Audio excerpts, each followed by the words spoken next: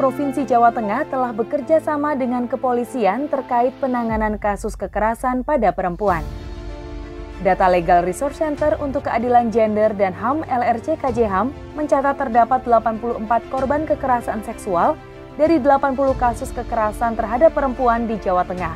Metode kita relatif bagus. Nah, yang kurang adalah lebih proaktif menyampaikan kepada masyarakat. Kalau kamu mengalami situasi itu, cepat lapor ke sini, jangan malu.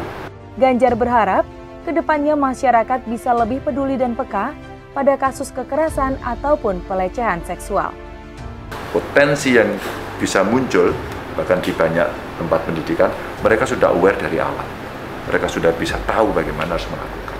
Edukasinya juga nanti bisa kita tarik kepada institusi lain untuk bisa terlibat melakukan pencegahan, disampaikan kepada publik dengan literasi yang baik sehingga orang aware. Pesan saya kepada siapa pun untuk cepat melapor pada kita agar kemudian tidak banyak yang tahu.